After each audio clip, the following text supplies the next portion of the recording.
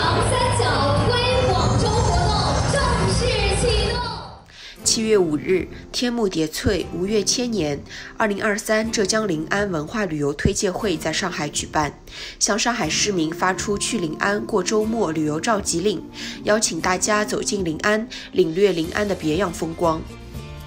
临安地处浙皖交界，是名城上海、名湖西湖、名山黄山、国际黄金旅游线上的一颗绿色明珠。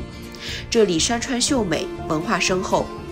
会上，杭州市临安区文化和广电旅游体育局党委书记、局长何军良从自然生态、人文积淀、美味乡愁等方面，深层次解读了临安文旅资源和发展成果。临安和上海同处长三角中心区域，地形空间相异，文旅资源各方异彩，又美美与共。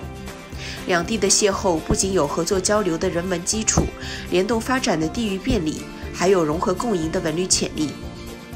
会上，杭州市临安区旅游行业协会和上海市长宁区旅游协会进行了合作签约，通过文旅协作，优势互补，实现互利共赢，提升天目叠翠、吴越千年文旅区域公共品牌影响力。